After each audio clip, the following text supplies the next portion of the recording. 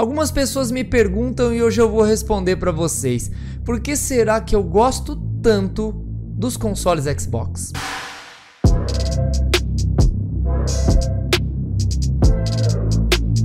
Fala pessoal, fala galera, sejam bem-vindos, amantes dos games, vocês que gostam aí de um conteúdo bacana de qualidade, sem hateamento, sem fanboyolismo, aqui é o seu lugar. Se inscreva aqui no meu canal, aperta o botão vermelho aí se você gosta de conteúdos assim, ative o sininho de notificações também para ficar por dentro de todas as novidades que a gente postar aqui no canal.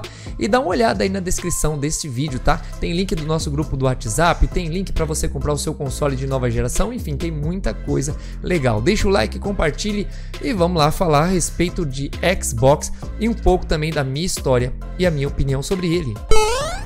Algumas pessoas chegam para mim e perguntam: pô, meu, por que você gosta tanto do Xbox? Porque o Xbox é sua plataforma, digamos assim, que você tem um carinho especial, porque é sempre assim que eu me dirijo ao Xbox. Eu não sou aquele cara que só quer ter uma plataforma, que só quer conhecer uma plataforma. Eu gosto de conhecer no geral. Eu já tive até em certa ocasião consoles da Nintendo, da Sega, Xbox, PlayStation e eu gosto sempre de provar os jogos exclusivos dessas plataformas e o console num todo, né? Porque não são só jogos os consoles, né? Tem o joystick, tem a plataforma em si, o que ela oferece para você. E eu tenho um carinho muito especial pelo Xbox e alguns de vocês podem até estar gostando de ver aquele caixotão aqui embaixo, ó, o Xbox clássico. Esse console não é meu, é de um amigo que me emprestou porque ele tá com um problema no cabo dele e eu vou arrumar o cabo e preciso do console para poder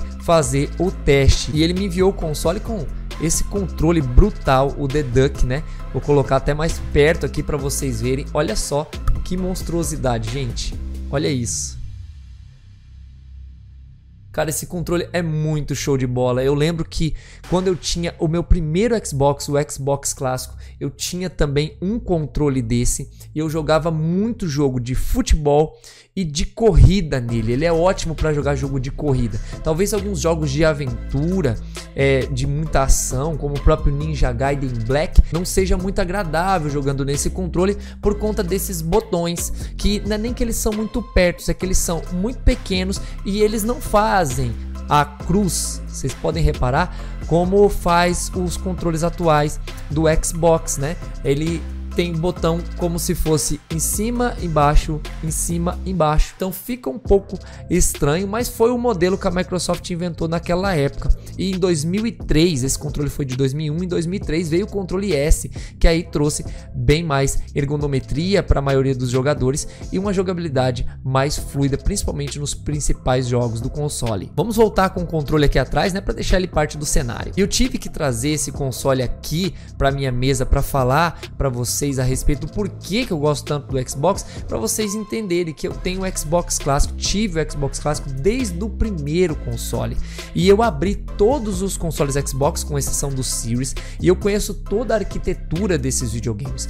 Todos os consoles Xbox têm uma arquitetura muito bem feita, muito bem elaborada, de fácil manuseio, fácil para manutenção. É muito bom, sem contar na brutalidade da qualidade das peças de cada um desses consoles, principalmente esse Xbox clássico aqui que tinha um HD onde você colocava músicas ali no sistema desse HD, música que você quisesse e ouvia nas suas jogatinas, num jogo como Sega GT ou Forza Motorsport.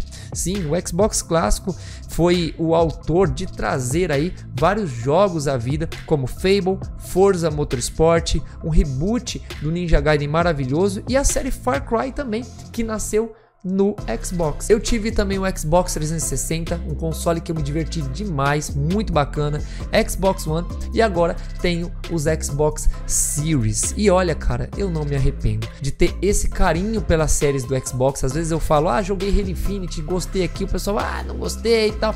Aí você vai perguntar, o cara nem jogou nenhum Halo. Eu jogo Halo desde o Xbox clássico, cara. Para vocês terem uma noção de como que é a minha história no Xbox, esses dias eu estava conversando com um amigo meu, Bruno, E eu estava falando para ele daquele jogo Black. Vocês lembram do jogo Black, né, da Electronic Arts e tal, de tiro em primeira pessoa? Um jogo muito bom por sinal, mas eu vejo que a galera até hoje aclama demais aquele game, porque naquela época a maioria da galera tinha PlayStation 2.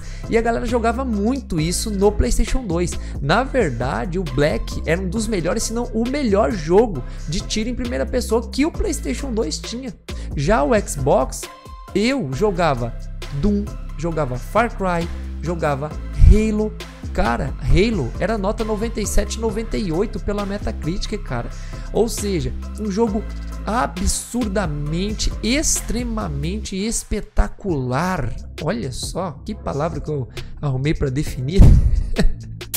Ou seja, aí eu entendi o porquê que eu não achei Black tão assim como muitas pessoas colocam, a maioria das pessoas que jogavam no PlayStation 2. Sem preconceito nenhum, sem querer desmerecer nada, mas esses jogos que a gente jogava, Half-Life 2, jogo de tiro em primeira pessoa, cara, perto do Black, são muito superiores. Hum, é mesmo?